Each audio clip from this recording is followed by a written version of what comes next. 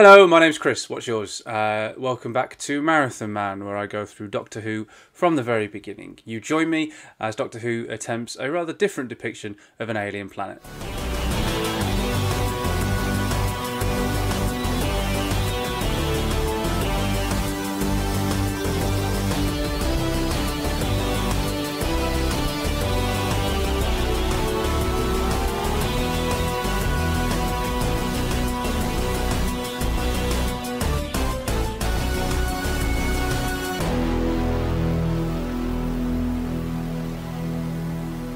There's something unique about the Keys of Marinus, or something which at least feels unique to my relatively limited experience with science fiction, and that is that it's a depiction of a planet which isn't just one galvanised blob of sci fi. Marinus is home to different cultures, different continents, and different lands. A lot of the time, a different planet is presented as an homogenised whole. A homogenised, homogenised whole.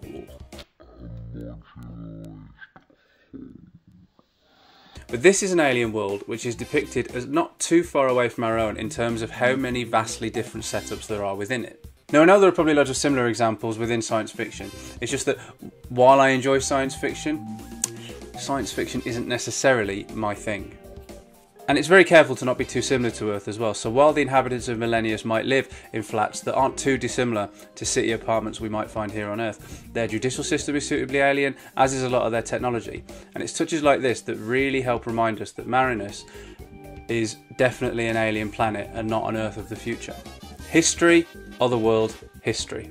Not counting the two episodes that were set within the confines of the ship, as it wasn't a destination, it would follow that the next story would take place on another world again. And like Marco Polo taking place in recorded history helps set it apart from an unearthly child's prehistoric jaunt, the Keys of Marinus' globe-trotting nature helps make it a very different prospect from the last trip-off world in the Daleks, despite both being written by Terry Nation. The addition of the quest here across different lands and cultures means that Doctor Who's first five stories each have their own distinguishing features and flavours. That also happens to probably be the Keys of Marinus' greatest strength, a six-part story that doesn't test the patience by spending far too long in one setting. No, it turns out to be other things that ultimately test the patience. The Sea of Death is a very good opening episode, in my eyes anyway. Yeah, okay, there's a couple of slight production fluffs, but a beach of glass and a sea of acid with a massive alien building set up a really good atmosphere, as does the slow infiltration of the Voord.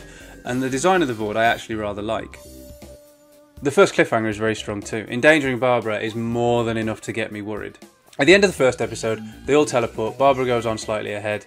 Uh, when they arrive, they don't see Barbara, but they find her travel dial and it's got blood on it.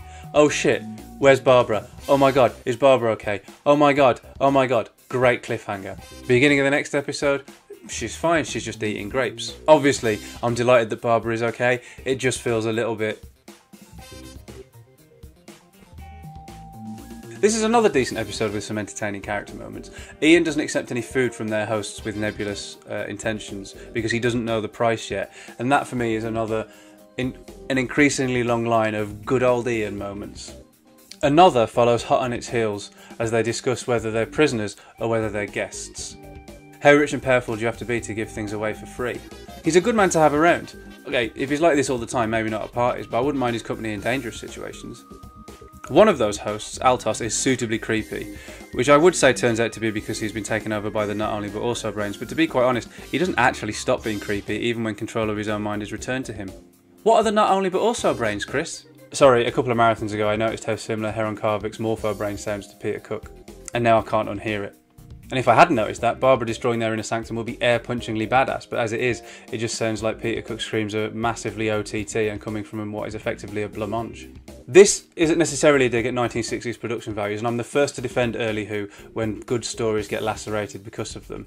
It's just that this is basically too big a performance for what is too flimsy a prop. So in this case, it isn't the prop that's misjudged, it's the voice performance. And that aside, I'm actually rather fond of this episode. Less so the next episode, The Screaming Jungle. Barbara gets a cracking line where she says, I do wish Ian would stop treating us like Dresden China. But other than that, this episode is, for the first time on the marathon, an actual slog. Susan's character takes quite a hit from this episode on. And remember what I said about how I'll defend 1960s production values when early Doctor Who gets lacerated because of them? Well, the spikes coming down on Barbara aren't brilliant. And the whole thing remains unfortunate when Ian forces the bendy bars and old Darrius gets stuck in the vines.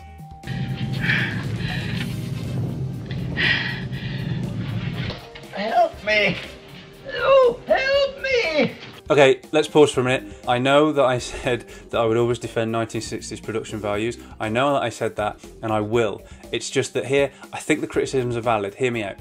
I think it's because Doctor Who, before this point, has already managed to successfully conjure up alien planets, alien plants, uh, and different times quite well. So I don't think this really has anything to do with um, the production values because Doctor Who has been able to create stuff, uh, create good stuff uh, within its limitations. This is just Doctor Who not doing this very well at this point. So this isn't necessarily a criticism of the 1960s production values. It's a criticism of the production values of this story. Okay, but things are looking up because the next episode is my favourite of the story. It's just a shame about the title. Here we meet Vasor, whose horrible interplay with Barbara tips over into not kid friendly. His terrorising of her does abate though, as he desists when the men return because Ian and Altos are so intimidating and manly. And the sequence in the caves is also really nicely realised. There's a nice touch when Sabetha asks where Iceland is, um, where after hearing Ian and Barbara talk about it, and Ian's wistful reply is a really nice reminder of his and Barbara's predicament. And I really approve of these little exchanges because it would be really easy to forget about Ian and Barbara's predicament uh, in favour of the plot of the week and the adventure. So to be reminded that actually this is one ongoing thing where they've just been abducted essentially is a really nice um, uh, ongoing thread to keep picking at. And as we head into the final two episodes, we're treated to a really effective cliffhanger as we essentially join a murder mystery. We probably spent slightly too long in Millennius, but it's worth it for several different reasons. Firstly, it provides an original reason for one of our main characters to become imperiled. Ian being accused of murder and facing trial and execution in an alien judiciary system on another world is, when you dwell on it, just as coldly frightening as being stalked by a Dalek. Secondly, and more importantly, the Doctor returns to us. And because he was on holiday, William Hartnell kind of sat out two of the episodes. And his return is surprisingly triumphant. I say surprisingly because whenever I watch this story, I never actually realise that I miss him until he comes back. Though I do always miss him. I think one of the reasons why I don't notice he's gone as I'm watching it is because at this point, the four travellers, they're all set up as equals, so having two episodes focused primarily on Ian, Barbara, and Susan isn't that big of a deal. The Doctor showing up again gives the story a proper kick up the arse, and William Hartnell has a whale of a time playing detective to try and exonerate Ian. That was a retake, by the way, because I accidentally said that the Doctor tries valiantly to get Ian off. The actual murder mystery subplot isn't the most engaging, but the fact that Ian's life is in danger does give it enough dramatic impetus. Similarly, Susan also gets kidnapped, and that ups the jeopardy further, but more crucially, it gives Barbara a fantastic opportunity to play the hero and um, you know very well, you've been watching this. I love Barbara. Barbara being the hero, I could watch that every damn week. And then we go back back to Arbitan's Island uh, from the first episode, uh, the island in the acid sea for the final stretch, and to one of Doctor Who's most screamingly funny moments, at least for me. The Voord tripping over his flippers gets me every time. I can't quite forgive the flimsy spikes and Darrius's pathetic attempts to make the vines live, but I do find the trippy uppy Voord nothing but endearing. People trip up all the time in real life, why not Voord? I would love to be able to say that I could consider The Keys of Marinus is greater than the sum of its parts, but the reality is, it really is just the sum of its parts. Its episodic nature means that it does contain more ingredients than most stories, it's just that some of those work while others don't. So it comes across feeling more like a buffet than a meal. The best bits are sublime, and every bit as good as what's come before. It's just that other parts, they fall somewhat short. After 26 episodes, I'm still very much along for the ride and loving it. It's just that I am a little bit relieved to be leaving Marinus.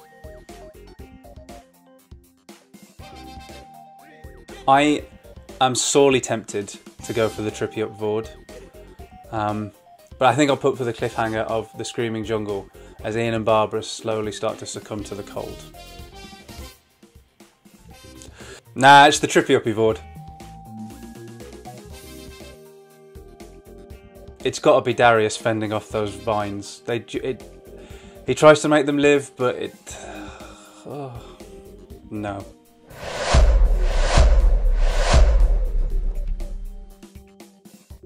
As ever, thank you so much for watching. If you enjoy my trip across Marinus, please give it a thumbs up. It really helps. And let me know your thoughts on the story. Is it a bit of a mishmash, or do you enjoy the variety on show? What's your favourite part of the planet Marinus, and what do you think is going through the Voord's head right after it trips up? Let me know in the comments below, and I'll see you back here for an unexpected engagement.